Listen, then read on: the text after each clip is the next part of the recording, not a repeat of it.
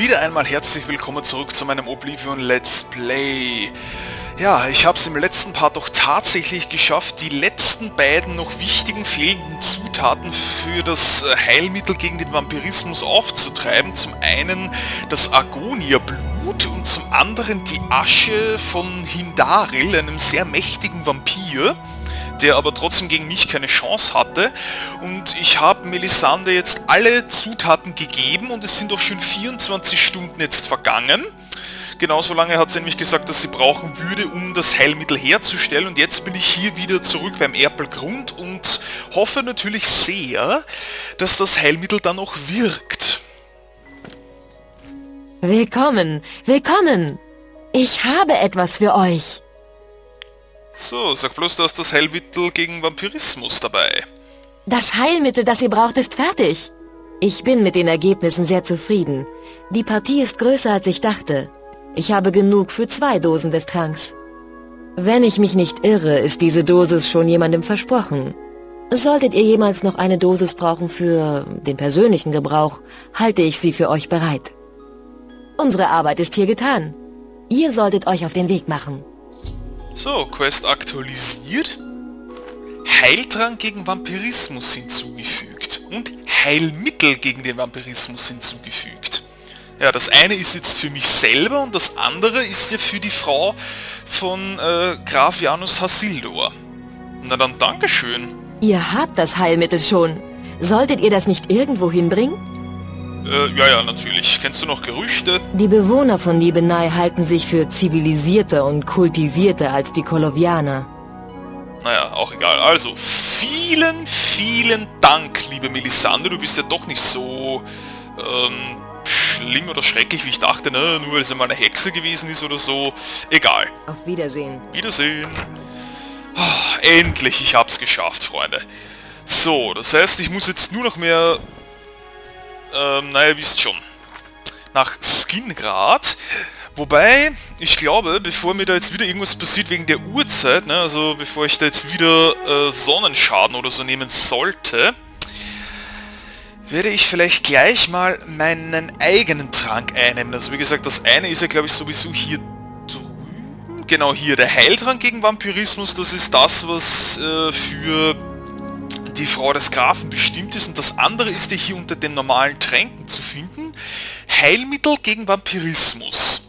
Lebensenergie wiederherstellen 500 Punkte auf sich selbst, Magie wiederherstellen 500 Punkte auf sich selbst, Ausdauer wiederherstellen 500 Punkte auf sich selbst und kuriert Vampirismus für eine Sekunde auf sich selbst. Ja, dauerhaft hoffentlich. Also, befreien wir uns endlich von diesem scheußlichen Äußeren und von diesem, ja, einfach von dem ganzen Vampir-Dasein. Also, Prost Mahlzeit. Es wirkt. Seht mal. Ich sehe wieder so aus wie vorhin. Wunderbar. Ich bin wieder normal. Ich bin endlich kein Vampir mehr. Super meine, klar, dadurch sind jetzt auch die ganzen äh, Vorteile wieder weg, aber das macht nichts dafür. Auch kein Sonnenschaden mehr, kein Feuerschaden, kein gar nichts, nur das, was ich vorhin schon hatte. Ich bin wieder ein ganz normaler Mensch. Also ein ganz normaler Bretone. So soll es sein. Und jetzt bekommt natürlich noch die Gräfin ihr Heilmittel. Also auf nach Schloss Skingard.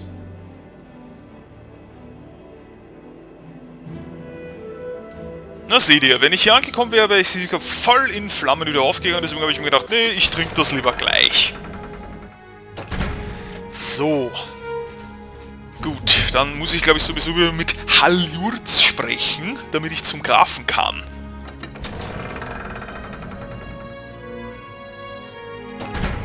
So, mal gucken, ist sie hier? Ja, sie ist hier, gleich da vorne. So.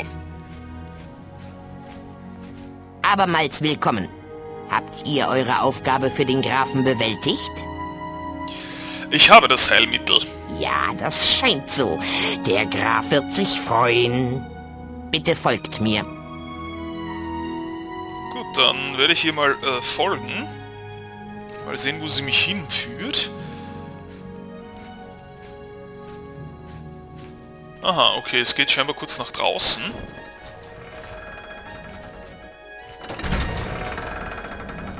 Schlossgarten, Schlosshof. Na los, mach Tempo hier. Aha, okay. Hier geht's rauf. Der Graf wartet dort drinnen auf euch. Bitte trödelt nicht. Hä? Wo denn? Oh! Wow, cool. Eine Geheimtür. Das ist ja geil. Wo geht's denn hier lang? Alte Holztür zu Kammer der Verlorenen. Uiuiui. Ui, ui. Das klingt ja sehr, äh, sehr mysteriös. Okay, irgendwo hier unten? Hey, das sieht aus wie eine Gruft. Oh, das sind sie. Moment mal. Melisande? Was machst du denn hier? Und da sitzt der Graf und das muss die... Das muss die Gräfin sein. Jetzt ist keine Zeit, Kleines. Der Graf wartet auf euch. Äh, ja. Jederzeit. Rona Hasildo, ey, die liegt hier... Die liegt schon wie tot in dem Bett. Kann man aber auch gar nicht ansprechen. Okay, also, ich bin wieder da. Die Zeit wird knapp. Das Heilmittel muss so bald wie möglich verabreicht werden. Bitte gebt es mir.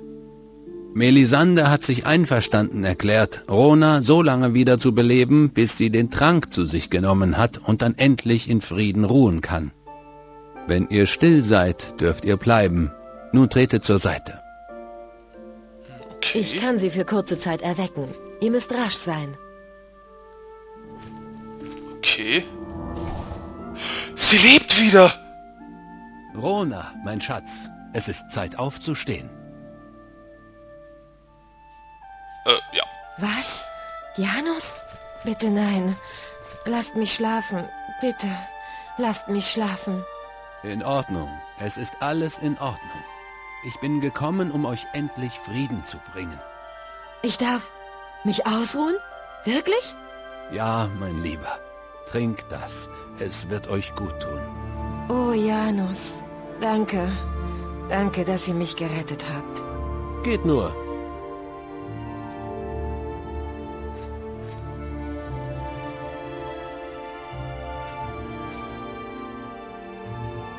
Ja, und jetzt? Na super, hey! Sie ist ja wieder tot! Ich kann die Leiche plündern? Nicht schlecht. Was hatten die dabei? 233 Gold und ein Jadering, das Gewand lasse ich mal lieber an. Aber okay, scheinbar ist sie jetzt wieder menschlich geworden. Sie ist jetzt als Mensch gestorben. Still, Kind. Das ist ein ernstes Problem. Alter, nenn mich nicht Kind, bist du wahnsinnig? Meine Frau, meine geliebte Frau. Jetzt ist nicht die Zeit für Gespräche. Gebt mir einen Tag Zeit, um Ihre Angelegenheiten zu ordnen. Sprecht morgen mit Haljurz. Bitte lasst mich in Frieden trauern. Oh, ähm, ja, natürlich, selbstverständlich. Bitte geht. Gut, dann werde ich jetzt mal gehen. Also das ist schon irgendwie traurig. Also sie wurde nur ganz kurz wiederbelebt, dass sie das Heilmittel einnehmen konnte, dass sie zu einem normalen Menschen wieder geworden ist und dann ist sie jetzt quasi als Mensch gestorben. Aber es ist, glaube ich, immer noch besser, als ein Vampir zu bleiben oder irgendwie so. Sie hat ja eh, sie ist eh ins Koma gefallen, also von daher war das kein wirklich schönes Leben. Und jetzt muss ich halt nochmal einen Tag warten und dann mit Halliurz sprechen. Und dann kriege ich vielleicht sogar noch irgendeine Belohnung, also so ein kleines Dankeschön. Na klar sehe ich clever aus, das weiß ich doch. So, okay, ähm, gut, dann warte ich nochmal 24 Stunden am besten. Dann ist wirklich genau ein voller Tag vorbei und dann... Ja, ist schon irgendwie traurig, muss ich sagen. Aber kann man leider nichts machen, so ist das Leben.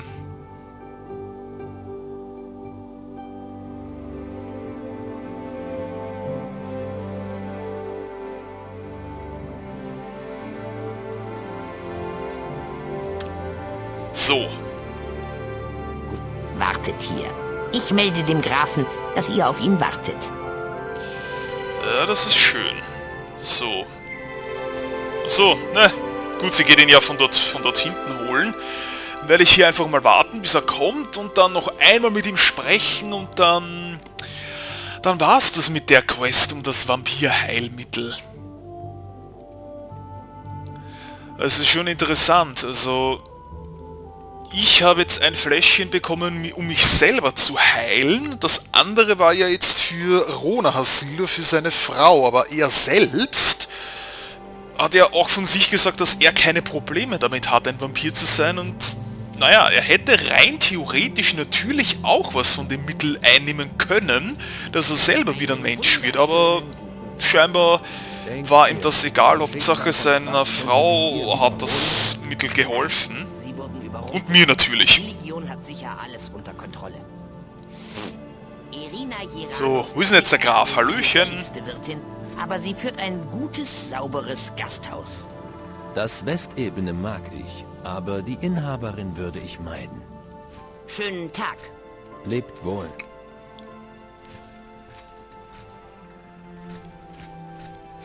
So. Es ist gut, euch zu sehen. Es Ach, freut mich, euch wiederzusehen, mein Freund. Ich kann euch nicht genug dafür danken, dass ihr mir geholfen habt, Rona aus diesem schrecklichen Zustand zu befreien. Ich hoffe, sie hat den Frieden gefunden, den sie so sehr ersehnte. Ich möchte euch eine Belohnung für eure Bemühungen anbieten. Eine Belohnung? Wirklich? Kennst du Gerüchte? Kann sein, dass Andel Indaris seine Frau umgebracht hat, kann aber auch sein, dass es ein Unfall war. Ich bezweifle, dass wir das je herausfinden. So, also, was ist denn meine Belohnung? Es scheint, ihr wurdet selbst vom Vampirismus geheilt. Ich kann euch dabei also nicht helfen. Aber ich kann euch eine hübsche Summe Geldes anbieten. Nochmals danke, mir fällt ein Stein vom Herzen. Nun, da ich weiß, dass Rona nicht mehr leidet. 7500 Gold! Boah, das ist wirklich großzügig. Also da sage ich recht herzlich Dankeschön. Ja, wir sehen ja, er hat immer noch rote Augen, also er bleibt weiterhin ein Vampir das ganze Spiel über. Aber ja, wie gesagt, das war's. Graf Hasildo dankte mir für das Heilmittel für seine Frau und Quest beendet. Auch ihr. So, jetzt ist er auch schon wieder weg. Ja, Freunde, das war's mit der Quest um den Vampirismus und auch um das Heilmittel ja, vor allem. Also ich bin jetzt wieder ein ganz normaler Mensch, ein Bretone, so wie es sein soll.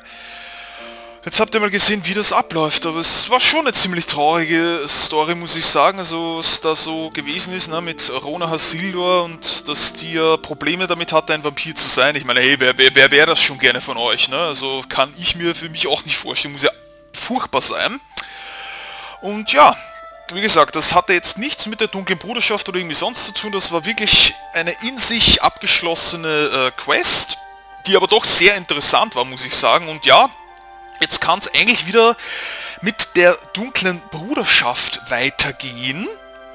Das heißt, ähm, ja, kann mich eigentlich wieder umziehen. Besten gleich mitten im Schloss, ne, hier, so dass jeder sieht, dass ich hier der dunkle Bruderschaft angehöre, weil die checken das ja eh nicht, die sind eh so doof, dass sie das nicht äh, merken. So, in dem Moment hier, das und das. So, und halt jetzt hier wieder meine eingehüllte Rüstung und Kappe. So. Gut. Also, ich weiß gar nicht, hatte ich eigentlich noch diesen Gott-Modus? Ne, ne, den hatte ich eh nicht. Hier passt schon, passt schon. Ist okay, das wollte ich nur kurz überprüfen.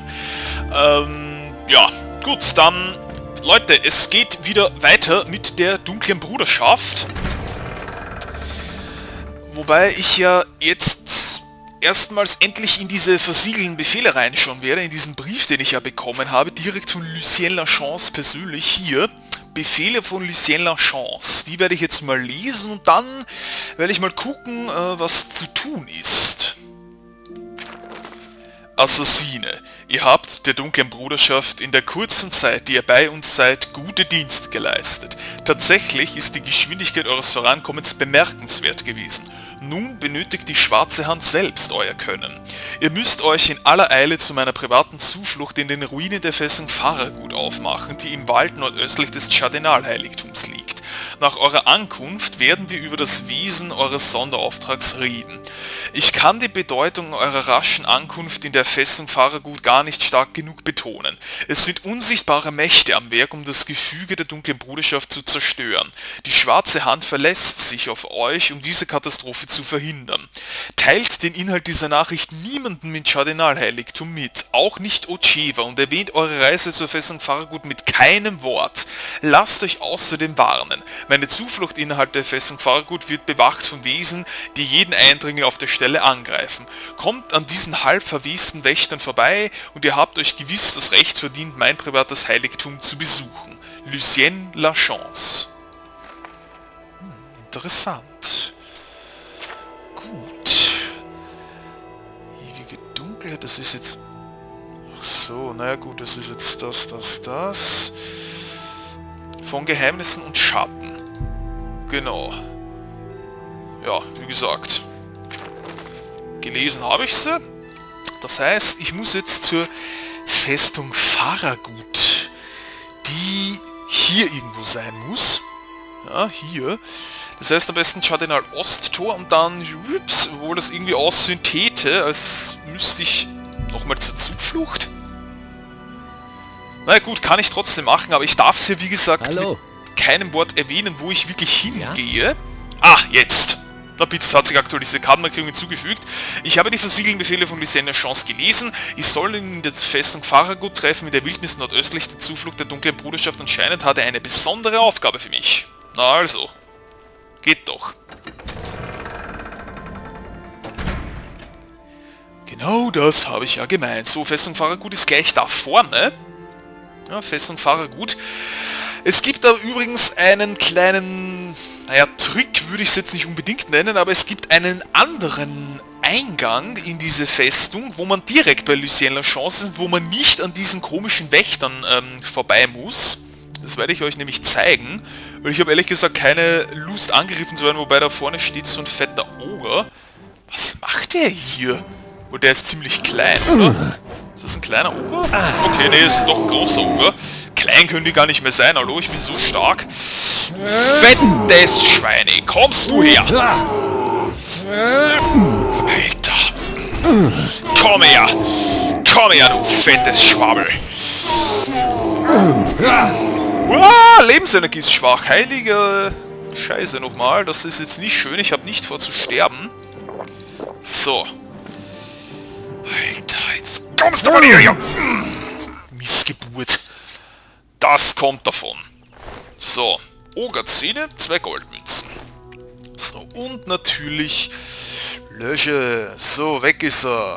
Alter, er hat mich jetzt ganz schön überrascht hier. So, also wie gesagt, hier hätten wir die Festung Faragut. So. Mal sehen, ob hier jetzt noch irgendwelche anderen Gegner sind hier draußen. Irgendwie hier so vielleicht irgendwer. Nö. Also, wie gesagt, das hier wäre der normale Eingang. Also da, wo das Spiel halt sagt, da gehst rein. Aber ich sage mal, Spiel, leck mich an the Bobbes. Ich nehme einen anderen Eingang, und zwar gleich hier drüben. Ist ein ziemlich hohler Baumstumpf mit einer Falltür. Und genau hier werde ich jetzt nämlich reingehen. So, schwupps. Genau hier unten, ne? Falltür Festung Fargut. Und wenn man hier reingeht, ist man sofort Lucille Chance und umgeht eben diese Wächter. So. Da ist er nämlich schon. Seht mal, normalerweise hätte ich dort drüben vorbei gemusst, aber ich kann sogar eigentlich auch hier jetzt mal den Hebel ziehen, dass das Tor hier trotzdem aufgeht.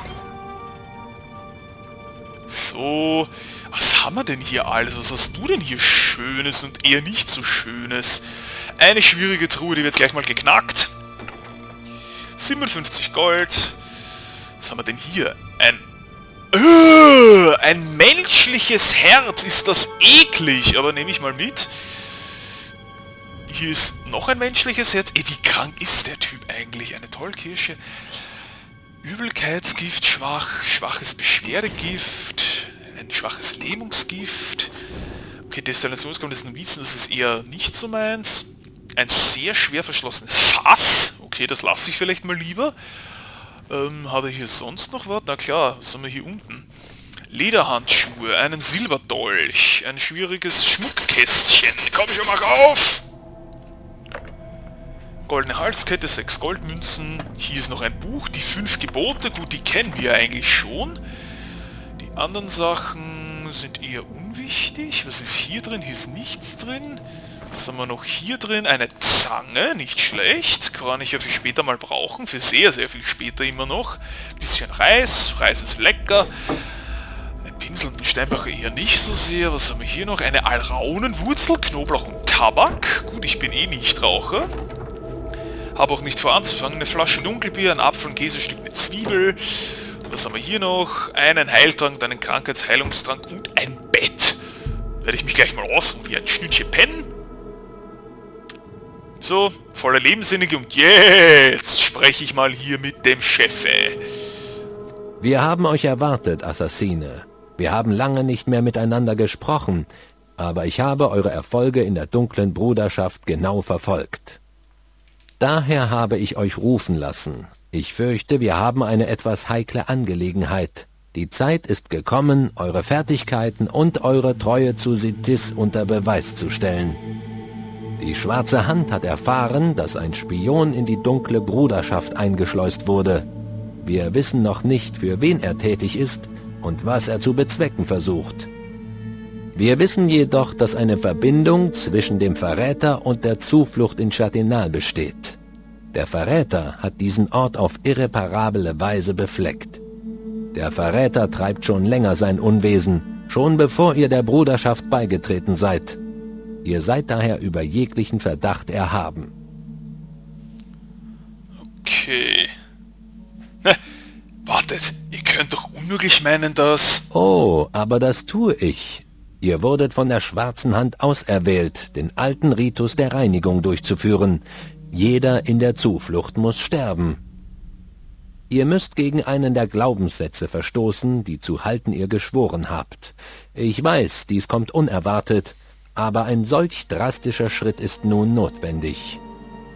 Oceva, Vicente Valtieri, Antoinetta Marie, Gogron Grobolmog, Telendril, Raj Da und Teinava. All diese Mitglieder der Familie müssen sterben. Ab sofort seid ihr nicht mehr durch die fünf Gebote gebunden. Sitis wird jeden Mord und jeden Diebstahl vergeben, solange ihr nur der schwarzen Hand dient. Wenn der Ritus der Reinigung abgeschlossen ist, dann kehrt zu mir hier in Festung Faragut zurück und wir werden über eure Zukunft sprechen.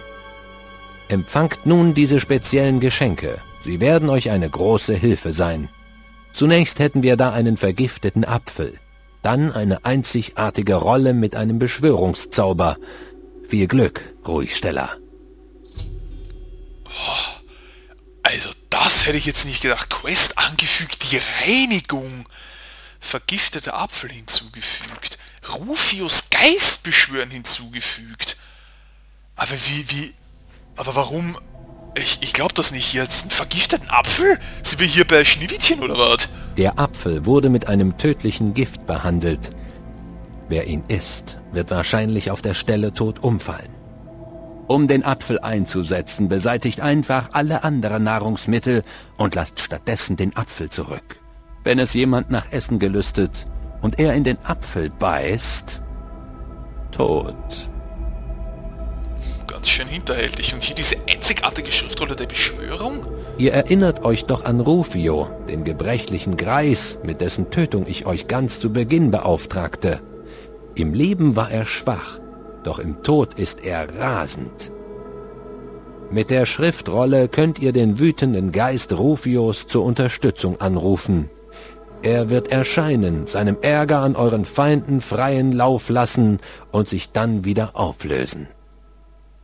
Hm, interessant. Ja, aber die, diese Reinigung, also ich, ich glaube das jetzt nicht. Die dunkle Bruderschaft ist ein alter Bund. Es gibt sie bereits seit tausenden von Jahren. Mitunter sind drastische Maßnahmen erforderlich, um unser Überleben zu garantieren. Die Reinigung ist eine der extremsten Maßnahmen, die wir zu ergreifen gezwungen sind. Nur zweimal wurde sie angewandt, bislang. Die fünf Gebote sind die Gesetze, die uns leiten und schützen. Doch mitunter müssen sie gebrochen werden, um die Unverletzlichkeit unseres Glaubens zu schützen. Bei der Reinigung wird Misstrauen und Verrat aus der dunklen Bruderschaft gefegt. Die Gefallenen werden Sitis als Zeichen der Treue geopfert. Und hoffentlich wird dabei auch der Verräter getötet. Bis die Reinigung abgeschlossen ist, kann keine Zuflucht als sicher angesehen werden. Tja, wenn es wirklich nicht anders geht, dann muss ich es wohl tun. Beeilt euch. Diese Zuflucht muss gereinigt werden, wenn dieser Verrat rückgängig gemacht werden soll.